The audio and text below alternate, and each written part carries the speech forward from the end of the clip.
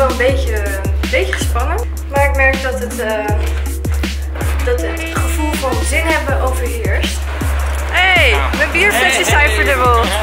Je hebt vrienden. Ik heb vrienden. Oh, gisteren was het er één en nu zijn het er twee. Succes. Nou, het is de sportschooldag vandaag.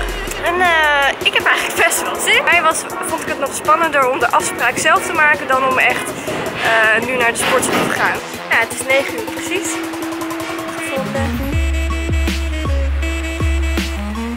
Hallo. Oh, allemaal mannen. Oh, ja. Dus binnen en allemaal, allemaal mannen hier meteen. Ja, jij hebt een video genomen. Ja, gewoon even een film joh. Je zenuwachtig nou? Oh nee hoor. Oh, ik altijd wel als die camera aangaat. ik was echt zenuwachtig. Nou, dit is dus een personal gym. Ja, cool. Nou, we gaan eh, een tekenlijstje doen. Beetje zin in? Ja, Ja? ja. ik vond het echt doodeng om, eh, om de eerste stap te zetten. Ik dacht, nou ja, het staat goed. eh. Ja, nou heel goed toch? Ja, Wat wil je bereiken in het algemeen? Wat zijn je doelen? ja. Beter uitzien zou mooi zijn. zou ik gewoon wat, wat fitter willen worden. en- Mooie doelen zeg. Ja. Wat wil je bereiken om het doel te behalen? ja, alles denk ik. Ja. Wordt dit tegen gebruikt later? nou, we kunnen het. Ben je klaar voor gedrag gewoon te veranderen? Ja hoor. Helemaal? Ja. Top. Gezond verder. Ja. Even de zaal hiernaast in. Ja. Deze manier. Deze zak.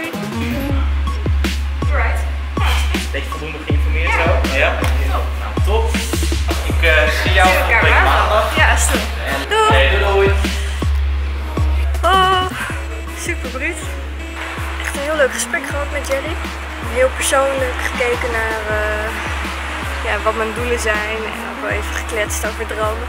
Nou ja, daar ben ik altijd wel voor je natuurlijk. Ik ben wel heel benieuwd eh, hoe het gaat zijn. We gaan het gaan doen. De eerste stappen zijn gezet. Ik vond het eigenlijk best wel meevallen vandaag. Het was een stuk kleiner en persoonlijker dan ik had verwacht.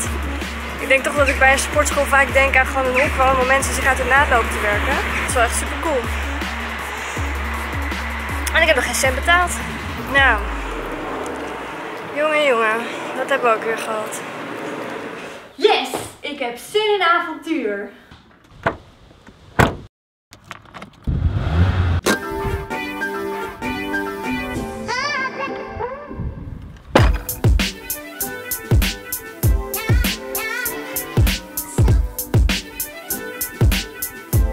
Ik heb een nieuwtje.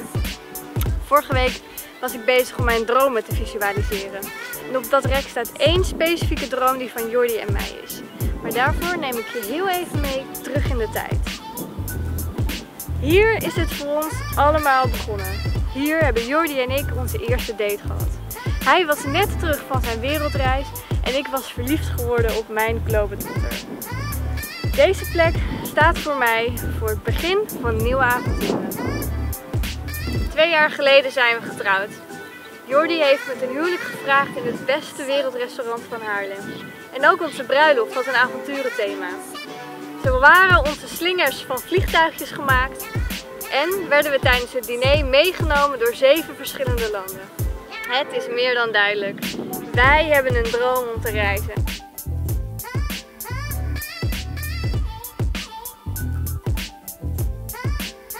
Oh, wat zouden wij graag langer weg willen. Op avontuur gaan, nieuwe mensen ontmoeten, loskomen van thuis, herinneringen maken. Maar wanneer is nou de timing om voor een paar maanden weg te gaan? Er is altijd wel een reden of een excuus te bedenken waarom het nu niet de goede tijd is. Als we ons laten tegenhouden door al die drempels, dan komen we nooit weg. Dus daarom hebben wij ticket geboekt naar Amerika! Wij gaan in september en oktober voor twee maanden reizen door Amerika. Roadtrippen langs de westkust en weet ik veel wat we allemaal doen. Oeh, bijna achter. Vandaag over precies 10 weken vertrekken we. En behalve de tickets hebben we nog geen zak geregeld, dus we moeten nog wel wat voorbereiden. Wat gaan we doen?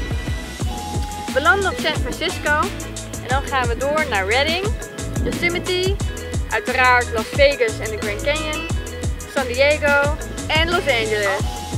Dit is echt een droom die uit gaat komen. We praten hier al jaren over. Een roadtrip langs de westkust van Amerika. En nu hebben we tickets. No turning back. We gaan het gewoon doen. We gaan gewoon ontzettend genieten van de wijn. Eh, van de reis. Ik bedoel echt de reis.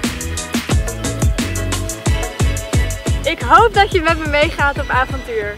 Blijf me volgen en ik zie je volgende week weer in de volgende vlog. Much!